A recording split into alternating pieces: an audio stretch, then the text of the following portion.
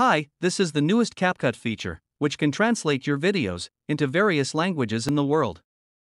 嗨，这是最新的 CapCut 功能，它可以将您的视频翻译成世界上的各种语言。Hai, ini adalah fitur CapCut terbaru yang dapat menerjemahkan video Anda ke berbagai bahasa di dunia. こんにちは、これは最新の CapCut 機能です。世界中の様々な言語にあなたの動画を翻訳できます。First, update your CapCut app to the latest version. then create a new project and add your video.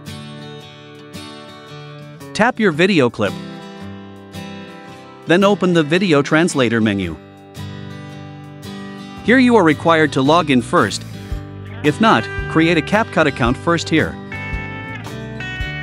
After logging in, you will be redirected to this screen. Next, select the language of your video and translate from. Select the destination language to be translated.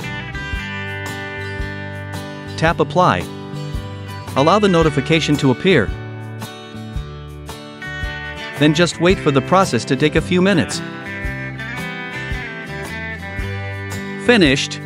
Hey, And here are the results. CapCut 功能，它可以将您的视频翻译成世界上的各种语言。